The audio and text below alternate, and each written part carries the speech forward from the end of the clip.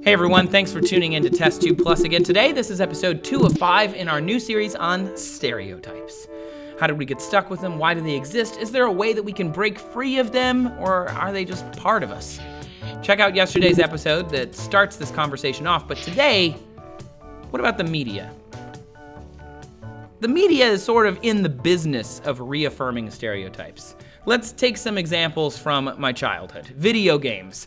Mario. That is like a stereotype that runs around inside of your Nintendo, man. It's an Italian plumber with like a really bad accent and a silly mustache and a big nose and, and like he wears coveralls everywhere he goes and he jumps around on Goombas. This is weird. It's full of stereotypes. Then there's Super Punch Out. Don't even get me started on this one. Okay, get me started because I just started myself on it. Stereotypical portrayal up and down this whole game. The arcade version had an Italian fighter named Pizza Pasta. There was a guy who was French who was weak and went down easy named Glass Joe. There was a Russian guy named Soda Popinski. Originally, his name was not that, it was Vodka Drunkenski. So, you know, they just made it a little nicer. This is awful. Stereotypes all over the place. Street Fighter 2 has so many stereotypes, it basically just borders on racism. There's Dhalsim, who has face paint, does yoga, it's an Indian guy, and he has shrunken skulls around his neck. There's Blanka, which is a wild beast man representing a Brazilian Amazon. There's Zangief, which is like a Russian bear wrestling monster of a man who grunts in incomplete sentences, like Vladimir Putin. Have you ever noticed how many heroes in movies are stereotypes as well? Like, for example, there are people in movies, all the guys are like 6'2, brown hair, dark complected. They kind of look like me, but musclier. Look at your games library. They got this in television, in movies, and in your video games. Mass Effect, Uncharted, Watch Dogs, Red Dead Redemption, Metal Gear Solid. All of these, same lead character, slight variations. All of that's stereotypical. There's also portrayal in video games of black men as aggressive or obnoxious, or sometimes like the witty comic relief. Like, think Gears of War, think Halo, think Dead Island. And what's worse is these things might be stereotyping so heavily that they're entering into the realm of racism.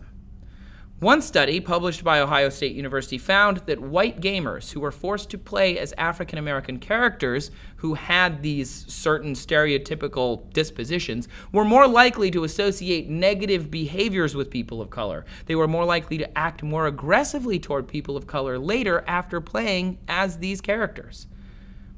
And that's just video games. That's a pretty powerful medium. But there's something that we do a little more than video games, and that is music. A lot of people listen to music. Some people listen to music all day long, constantly. Certain types of music tend to draw from certain stereotypes.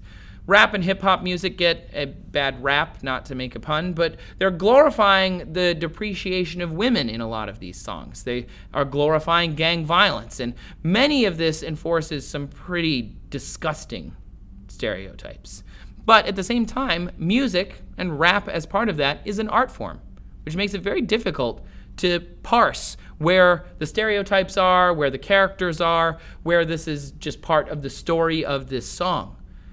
At the same time, though, some of this hip hop and rap is commercial art.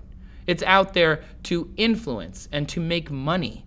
They put this character into this storyline and did this stereotype in order to speak to this group of people so that they will buy your album. It's a really slippery slope to get onto, but it's all stereotypes. Unlike some other musicians, hip hop artists at least are somewhat self aware of this. In 1989, KRS One, Cool Moe Dee, MC Lyte, and a bunch of others jumped on a track called Self Destruction. And its message and purpose was to warn folks of the damage of stereotypes in hip hop. Check it out, it's actually pretty awesome. Super meta. Other musical groups also stereotype. Let's not pick on hip hop and rap, you know. Pop music is all just like party, party, party, we're all gonna get drunk, and it's mostly like upper middle class white kids. Country music is also mostly white people, but of a different social class. And then you replace like gang violence or parties with maybe what could be construed as trailer park activity, small town activity. You know, the, there's that classic joke what do you get when you play country music backwards? You get your dog back, you get your truck back, you get your trailer back. These are all stereotypes that the media uses in order to speak to all of us. And it works because we speak this stereotype too. The WWF slash WWE has characters that are embodiments of stereotypes, both good and bad. Yokozuna is a sumo man. He sits on people, and his manager shouts at him in broken English. Yokozuna, number one. That is terrible. Tatanka is a Native American guy, very high energy, uncontrollable. Stone Cold Steve Austin is a beer drinking, you know, white trash guy, bald with a goatee, leather vest kind of guy. There's the Nation of Domination, which is a black power group. These are all drawn from stereotypes that society already holds.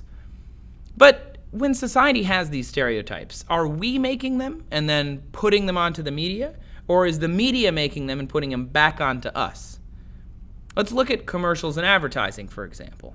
Calvin Klein, for example, has advertisements where maybe there's like this sun kissed blonde dude with six pack on a horse or something. You know, there's also pink razors for women and there's blue stuff for little boys. And, you know, marketing and advertising, they look at society and then they try and target people. And they can and do say whatever they want. If there's a commercial for a dishwasher and they show a mom doing the dishes, is that a stereotype? I mean, it's hard to say because it also could just be targeting. These companies do a lot of research to find out who buys their products. They don't just make ads willy nilly. So maybe women are the ones who buy their products most. So they'd rather feature those women in their ads. The question is do they then stereotype the women that they feature? Is the woman a white woman who lives in a certain house in a certain neighborhood and talks a certain way? Is the woman a Indian woman who lives in a certain house in a certain place and talks a certain way? That's where the stereotypes come in. Just showing them one way or the other, that's a little more of a gray area. It could just be that the ad's racist, because that happens too sometimes. And then they usually get banned. You can look on YouTube for some of those. Some of them are pretty crazy. But commercials and advertising are more akin to the questions about music and whether they're just targeting a specific demographic. And that brings us to like Hollywood. Does Hollywood do that too? Are they just targeting demographics with their stereotyping? There are studies that show that the audience would reject movies that have anything but a white male lead. And they think maybe this has to do with something called the coconut effect. From the days of radio, you would take two halves of coconut, you bang them together, and it was like the standard way to generate the sound effect of a radio program of horse hooves, also used in the classic Monty Python movie. Horses don't actually sound like that, though. I don't know if you've ever heard a horse, but they don't sound like coconuts. And the problem is that the sound became so attached and ingrained in the public consciousness of, okay, this means horse, that when they used a different horse sound in movies, people didn't understand what was happening. That's the coconut effect. And it could be the same with a white male lead. Perhaps people are just so used to seeing a white male lead that they expect to continue to see it. In a 2008 study, this was before Interstellar, before Gravity, and The Hunger Games, all with very strong female leads and great box office success, a study showed that men in leading roles sold significantly more tickets. Based on this 2008 study, the studio is going to gamble on a male lead because it seems as though female leads only make about half as much at the box office. So here are some numbers. Female leads generated in the domestic box office about $54.5 million, whereas male leads generated $101 million. The opening weekend in the box office, $18 million for female leads, 32.2 million for male leads. Even translated into DVD sales, female leads 32.2 million, males 64.6 million. These numbers are strikingly almost half of each other. The male lead making double what the female lead makes in almost every situation. But all of this data is super skewed because the male lead roles traditionally had a larger marketing budget than the female lead roles did. And these are comparable movies. We're looking at blockbuster films. So some people went through this data and they found that if they had even or equal marketing budgets, there should be no difference in the ticket sales between a female lead and a male lead. So, does that mean the data is skewed and not us? Or does it mean that we are skewed so we give males more marketing money for their movies? It's hard to say, but it gets worse. The New York Film Academy found that from 2007 to 2012, 28% of all women on screen wore revealing clothing, and 26% of all women get partially nude in their acting. Women purchase 50% of all movie tickets. So what's going on here? Why is all these ladies wearing partially like revealing clothing, getting kind of naked? Even the UN chimed in on this New York Film Academy study. The Undersecretary General and the Executive Director of UN Women called the study a wake up call for the global film industry. With their powerful influence, she said, on shaping the perceptions of large audiences, the media are the key players for gender equality agenda. With influence comes responsibility. So maybe it's not actually the audience after all. Maybe it's an equality issue that's also reinforcing and generating these stereotypes.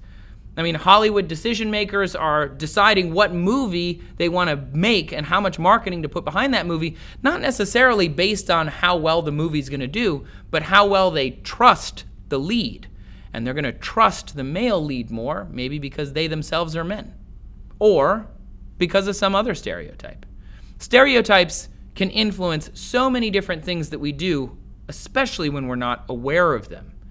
So, Maybe we should do a series on equality one day. Why don't you let us know in the comments if you think we should do that? But what do you think about all this? Do you think that stereotypes come from us, go into the media, and then come back? Or do you think there are some stereotypes that come from the media straight into us? So let us know down in the comments and come back tomorrow for more Test Tube Plus where we're gonna find out if these stereotypes are actually embedded within us.